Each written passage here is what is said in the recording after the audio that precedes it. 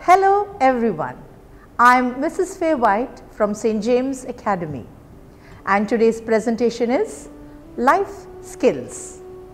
Life skills are abilities for adaptive and positive behavior that enable individuals to deal effectively with the demands and challenges of everyday life. Objectives of the module to create awareness regarding concept of life skills, to help to identify and develop skills needed to empowering learners to make informed decisions. What are life skills? The word life skill has come to be popularly used in the context of emerging health issues for young people in different parts of the world.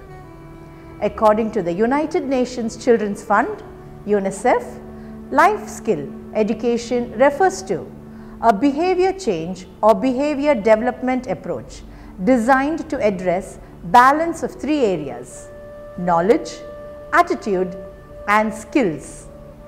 The UNICEF definition is based on research, evidence that suggests that shifts in risk behavior are unlikely if knowledge, attitudinal and skill based competencies are not addressed.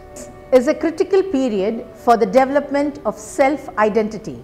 The process of acquiring a sense of self is linked to the physiological changes and also learning to negotiate the social and psychological demands of being young adults.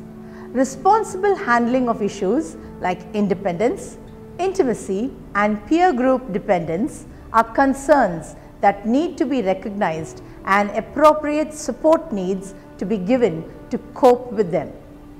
These physiological changes have ramifications in the psychological and social aspects of an adolescent's life. Most adolescents deal with these changes without full knowledge and understanding which could make them vulnerable to risky behavior.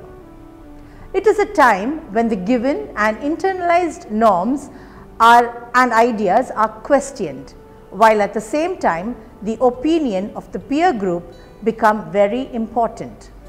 It is important to recognize that adolescents need social and emotional support that may require reinforcements of norms of positive behavior, acquisition of skills essential to cope with the risky situations that they encounter in their lives. Manage peer pressure and deal with gender stereotypes.